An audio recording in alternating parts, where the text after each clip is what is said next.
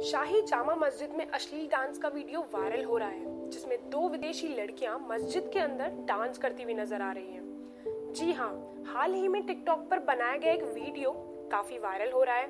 इस वीडियो को लेकर सोशल मीडिया पर तो बबाल हो ही रहा है, साथ ही विशेष समुदाय के लोगों में भी इस वीडियो को लेकर काफ़ी गुस्सा भरा हुआ है।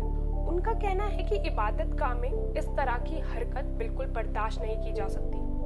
आप वीडियो में देख सकते हैं कि किस तरह से विदेशी युवतियाँ जामा मस्जिद के अंदर डांस करती हुई नज़र आ रही हैं। इतना ही नहीं इस दौरान कई और भी वीडियो सामने आई हैं, जिनमें से एक वीडियो में एक लड़का मस्जिद में डांस कर रहा है। तो वहीं नमाज़ पढ़ने वाली और दुआ करने वाली पावन जगहों को कुछ लोगों ने खेल का मैदान समझ लिया है। आप देख भी सकते हैं किस तरह से दो लड़के एक बच्चे को उठाकर पानी में फेंक देते हैं। इस तरह की दो और भी वीडियो हैं, जिसमें कोई डांस कर रहा है तो कोई किसी फ़िल्म के डायलॉग पर एक्टिंग कर रहा है।